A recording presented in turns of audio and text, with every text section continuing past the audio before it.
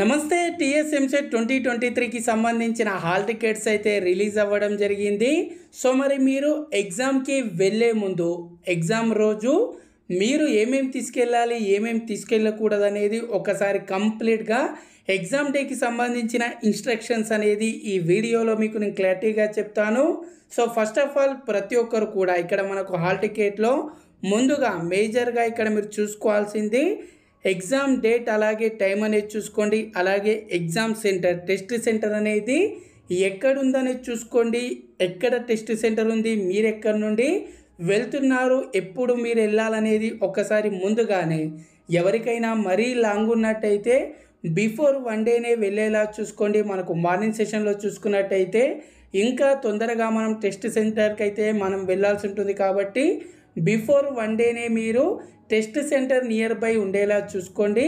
Possible ఉంది afternoon అంటే మీరు ఆ రోజు కూడా బయలుదేరండి కానీ సో ఎగ్జామ్ డే రోజు మాత్రం మీరు మీకు నైన్కి మార్నింగ్ సెషన్లో నైన్కి అలాగే ఆఫ్టర్నూన్ సెషన్లో త్రీకి ఎగ్జామ్ ఉంటుందని ఎవరు కూడా నైన్ ఓ క్లాకే వెళ్దామని అయితే అనుకోవద్దు. ఎందుకంటే మనకు సెవెన్ థర్టీన్ ఉండే ఇక్కడ చూడొచ్చు.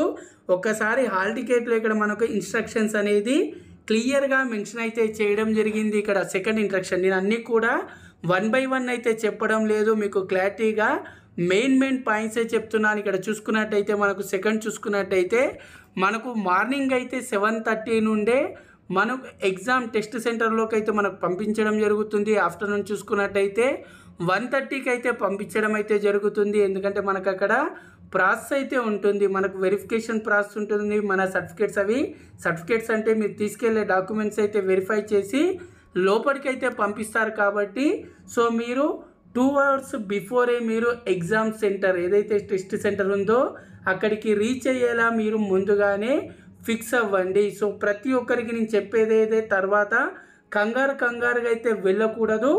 ముందుగానే మనకి ఇక్కడ కూడా మనకు ఏదైతే ఆల్టిగేట్లో టికెట్లో దానికి సంబంధించిన మ్యాప్ కూడా ఇవ్వడం జరుగుతుంది. టెస్ట్ సెంటర్కి సంబంధించిన రూట్ మ్యాప్ అనేది దాన్ని బట్టి మీరు ముందుగానే one hour two hours before ఉండేలా చూసుకోండి. ఆ తర్వాత ఇప్పుడు ఎగ్జామ్కి వెళ్ళే ముందు ఏమేమి డాక్యుమెంట్స్ తీసుకెళ్ళాలంటే ఫస్ట్ ఆఫ్ ఆల్ ఇక్కడ చూడొచ్చు మనకు క్లియర్గా.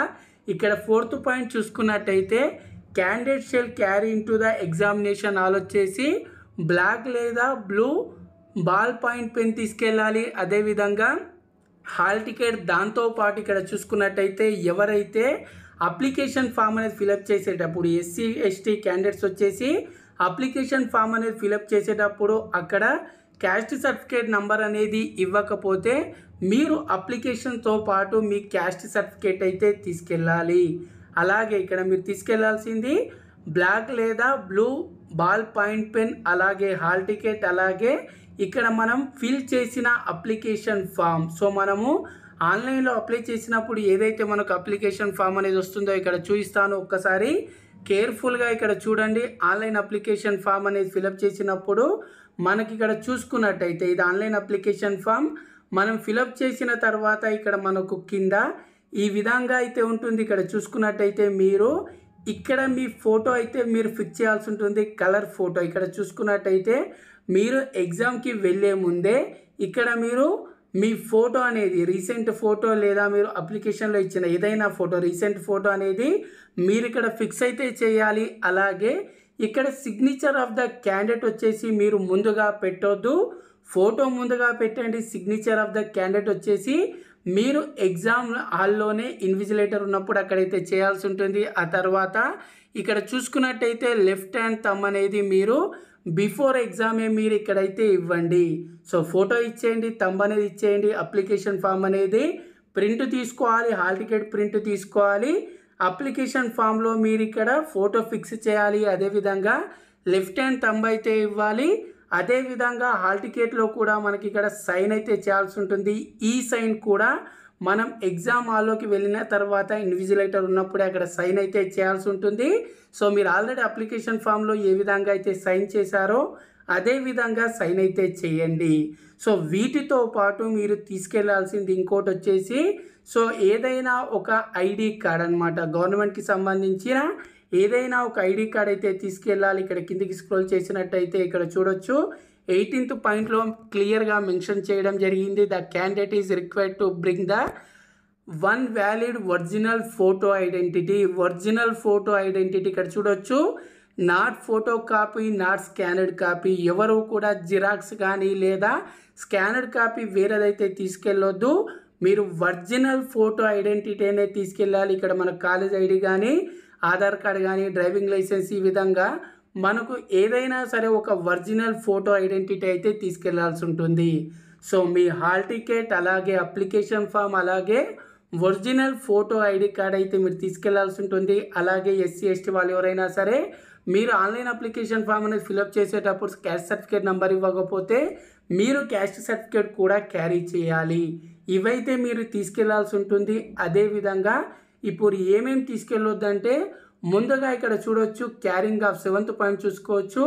క్యారింగ్ ఆఫ్ క్యాలిక్యులేటర్స్ కానీ లేదా మీరు సెల్ ఫోన్స్ కానీ వాచెస్ కానీ ఎలాంటి ఎలక్ట్రానిక్స్ గ్యాడ్జెట్స్ కానీ వాచెస్ కూడా ఎలాంటివి కూడా అలో అయితే చేయరు కాబట్టి సో ఇలాంటివి ఎలాంటివి కూడా మీరు ఎగ్జామ్ హాల్లోకి అయితే తీసుకెళ్ళొద్దు. ఇక్కడ మనకు క్లియర్గా మెన్షన్ అయితే చేయడం జరిగింది. అదేవిధంగా ఇక్కడ మీరు ఎగ్జామ్ హాల్ అయిపోయిన ఎగ్జామ్ హాల్లో మీ ఎగ్జామ్ అనేది అయిపోయిన తర్వాత సో మీరు ఆన్లైన్ అప్లికేషన్ ఫామ్ అనేది కూడా మీరు అక్కడ ఇచ్చేసి అయితే రావాలి. అలాగే ఇక్కడ మనకు రఫర్ కోసం మీరు ఏవైనా పేపర్స్ అయితే బయట నుండి రఫర్ కోసం తీసుకెళ్ళాల్సిన అవసరం లేదు. మీకు అక్కడ ఇవ్వడం జరుగుతుంది. ఎగ్జామ్ అని అయిపోయిన తర్వాత మళ్ళీ మీరు అవన్నీ కూడా అక్కడే ఇచ్చేసి అయితే రావాలి. ఇక్కడ మనకు అన్ని పాయింట్స్ అయితే క్లియర్గా మెన్షన్ అయితే చేయడం జరిగింది. ఇక్కడ మెయిన్ మెయిన్ పాయింట్స్ అయితే ఇవే. సో మీరు క్యారీ చేయాల్సింది క్యారీ చేయకూడనివి. అదేవిధంగా మీరు టైంకి అయితే వెళ్ళాలి మళ్ళీ మళ్ళీ చెప్తున్నాను.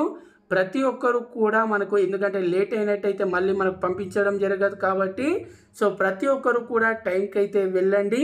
ఇక్కడ మనకు ప్రతి దానికి సంబంధించి ఇన్స్ట్రక్షన్స్ అనేది కేర్ఫుల్గా ఇచ్చారు.